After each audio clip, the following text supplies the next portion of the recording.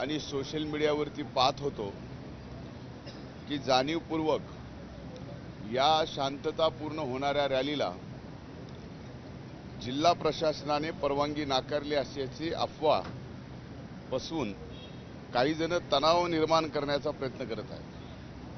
ही बातमी पूर्णपणानं चुकीची खोटी व दिशाभूल करणारी आहे. वस्तुतः जिल्हा पोलीस प्रशासनानं रॅलीला परवानगी नाकारण्याचे कोणतेही कारण नाही. परंतु ही रॅलीला परवानगी आठ तारखेलाच या ठिकाणी दिलेली आहे.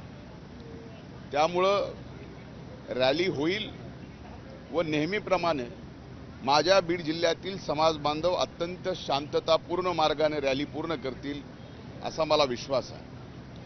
मी स्वतः मराठा समाजाच्या आरक्षणाला या ठिकाणी एकोणीसशे अठ्ठ्याण्णवपासून या चळवळीत आहे.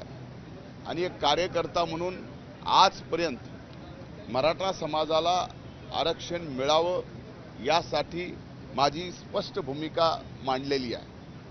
सभागृहात विरोधी पक्ष नेता असताना एक सामान्य कार्यकर्ता असताना या ठिकाणी मराठा आरक्षणासाठी मी स्वतः रस्त्यावर उतरून लढा दिलेला आहे.